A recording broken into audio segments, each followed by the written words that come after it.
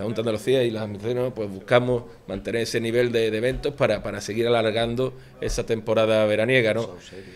Eh, por supuesto, evidentemente, se me olvidaba el, festival ¿no? que hemos estrenado esta semana pasada, el Festival Internacional de, de Series en Cádiz, el SAO Festival, que va del 6 hasta el día 12 de octubre. ¿no? Como digo, son, son nueve grandes eventos de, de mucho apoyo por parte de la Junta de Andalucía, que lo que busca es eso, alargar la, temporada de verano. ¿no? Ya en la provincia de Cádiz podemos decir que el verano prácticamente va casi desde marzo hasta casi noviembre, ¿no?